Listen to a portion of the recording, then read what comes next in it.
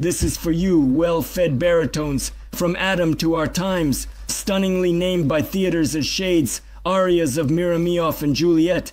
This is for you, Penters, who have become drunk like horses, the beauty of Russia, eating and laughing, hiding in old workshops, dragon flowers and bodies. For you, covered with mystic leaves, wrinkled foreheads with eruptions, futurism, smearism, acmeism, entangled in rhyming web.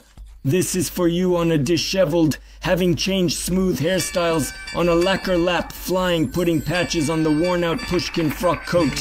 These are dancing, playing the flute, openly betraying and secretly sinning, depicting themselves with a massive academic pie.